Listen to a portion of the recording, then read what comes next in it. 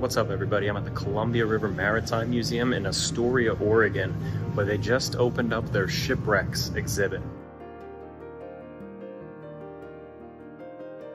Coming through here, there's a lot of incredible artifacts that they have. There's the famous Peter Iredale washed up on the shores not too far from Astoria. They even have a piece of the hull from the Exxon Valdez.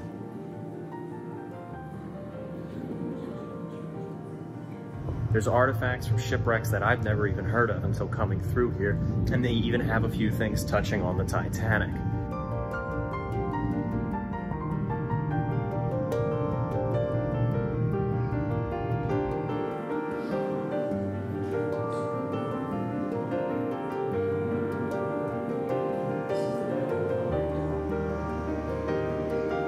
They also have an exhibit on the Great Northern and the Northern Pacific.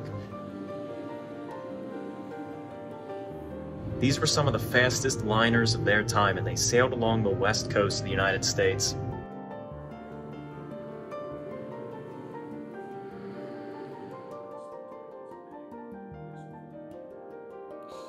One of them met an unfortunate end. Interestingly, this is Astoria, Oregon, the site of Fort Astoria, named for John Jacob Astor. And of course, four generations later, you have John Jacob Astor IV, who was the richest passenger aboard the RMS Titanic, and he was lost in the sinking.